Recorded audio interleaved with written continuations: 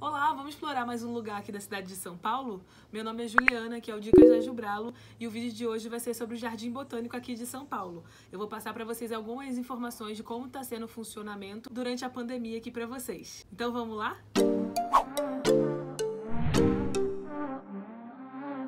Logo na entrada do parque você já vê o quão verde é e lindo, já chama a sua atenção. É, assim que eu cheguei, tinha algumas pessoas na frente, mas foi tudo bem rapidinho. Tinha só uma mulher atendendo. E você já paga tudo na hora. O estacionamento também, se for o caso, você já paga na entrada mesmo.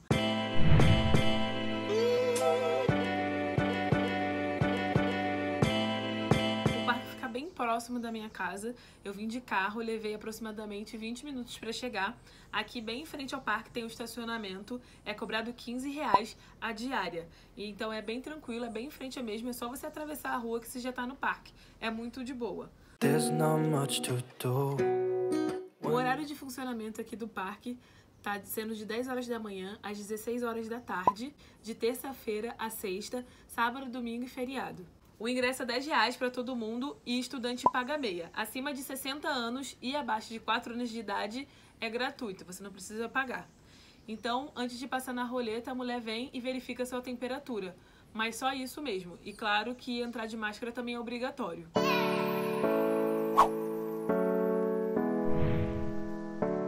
Entrou no parque, a gente se deparou com um roteiro de espécies ameaçadas e a gente ficou achando que fosse o mapa do Jardim Botânico aqui. Mas nem era. E a gente continuou andando, meio que não tinha placa, tinha uns. O que é aquilo? Mural não? Painel. É. Tinha uns painéis assim explicando né, o começo do Jardim Botânico e tudo mais, mas não tinha sinalização do, tipo, do roteiro mesmo do parque, sabe? E eu senti um pouco de falta disso no início. E aí a gente foi caminhando, a gente se deparou com um restaurante. Óbvio, né? Eu já estava com fome e eu já queria conhecer o restaurante daqui mesmo, se era bom ou se não era. Então eu já fui fazer meu pit stop lá no restaurante para fazer aquela almoçada e depois continuar a visitar o parque. O restaurante é simples, mas super agradável. Na verdade, são mesas colocadas pro lado de fora e era como se fosse uma lanchonete, sabe? E aí as cadeiras estavam bem afastadas também, uma da outra. Bem afastadas não, mas estavam com uma distânciazinha ok. E já tinha logo o cardápio com as opções que você poderia escolher presas na, na árvore, assim.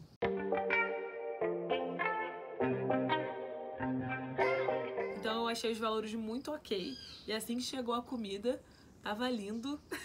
E tava gostoso também, gente, muito bom. Eu escolhi o bife acebolado, tava 23 reais o prato e é bem servido, vem um negoção gigante assim, tava muito gostoso. Depois disso, para continuar o passeio foi um pouco difícil, mas seguimos o baile e tudo deu certo no final. Só tá funcionando aqui no jardim os locais abertos. Locais fechados não estão funcionando. O primeiro lugar que a gente visitou foi o Jardim do Lineu, um lugar muito bonito, tem umas estufas assim, só que obviamente estava fechado, né? Tinha uma estufa e um mini museu também. Só que o mini museu estava em reforma, mas aproveitando que está fechado por conta da pandemia, e as estufas também. Aí no meio tinha um chafariz assim e vinha um verde bonito assim, gente. Muito lindo. E aí tinham duas escadas gigantes, uma do lado, outra na outra, que te levavam para e visitar mais coisas. Sempre esses lugares têm esses vários caminhos, eu fico doida sem saber para onde eu vou, fico numa. Não sei se acontece com vocês também, cara. Eu fico muito sem saber. Bota aí nos comentários se isso acontece com vocês também.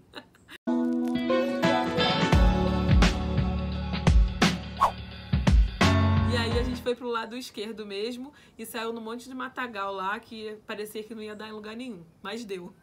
Aí a gente fez tipo uma trilhazinha rápida, na verdade um caminhãozinho, né, rápido, e a gente se deparou com vários lagos. Aí tinha os lagos da Ninféia,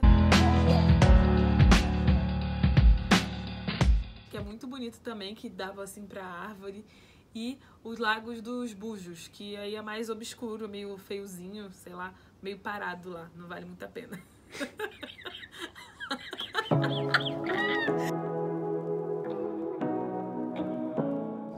parte que tem os lagos é a parte mais aberta, assim, mais bonitinha. Que aí tem a roda de água, tinha muita borboleta, eu não consegui filmar nenhuma, porque elas fugiam de mim. Só que tinha cada borboleta de uma cor, sabe? Muito lindo.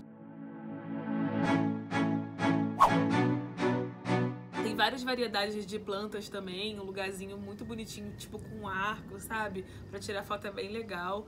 E também tem muitos bancos espalhados.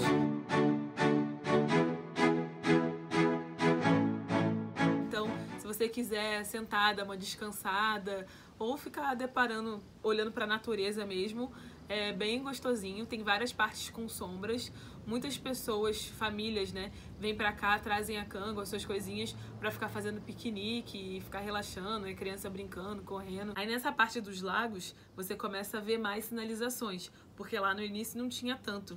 E isso faz falta. Logo que você chega, você quer sabe, ter uma um direcionamento, entendeu? Saber para onde você vai, o que você conhece primeiro. E eu senti um pouco de falta disso, sabe? E tinha uma placa que caminhava a gente pra trilha da nascente. Aí no caminho da trilha da nascente, logo que você vai começar, tem uma placa é, sinalizando, né, que tem podem ter bichos, né, bicho preguiça, aranha, cobra, e aí já dá um certo medinho no frio na barriga, mas a gente seguiu o baile. Um pouco mais adiante, a gente se deparou com o um roteiro de visitação, que aí sim, eu acho que esse roteiro que tinha que ter na frente do Jardim Botânico, entendeu? Para a pessoa já, já conseguir se localizar. Aí foi aqui na trilha que eu consegui é, ter noção mais ou menos das partes que eu já tinha visto, das partes que faltava ainda conhecer. E achei que poderia ter tido esse roteiro antes, sabe? Esse roteiro fica bem ao lado da entrada da trilha da nascente, só que a, a trilha da nascente estava fechada, não estava funcionando. Só que ela é bem de boa, tem as informações, parece que é feita em 40 minutinhos só e que o nível de dificuldade dela é baixo. Então deve ser bem tranquilo para fazer quando está funcionando. Bem em frente a essa entrada da trilha da nascente tem um espaço também para poder fazer piquenique, tem umas cadeiras e uma casa para criança brincar, né? Só que tá interditado também e tava bem vazio esse lugar, que no caso é aqui.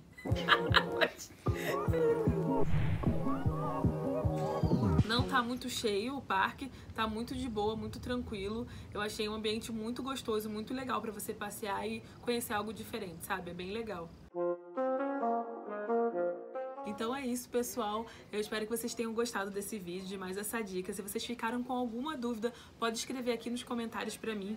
Me siga nas redes sociais, arroba Dicas da Jubralo, meu Instagram. Lá também eu posto muita curiosidade aqui da cidade de São Paulo, o que fazer, o que comer. E é isso, gente. Até semana que vem. Muito obrigada para quem assistiu até aqui.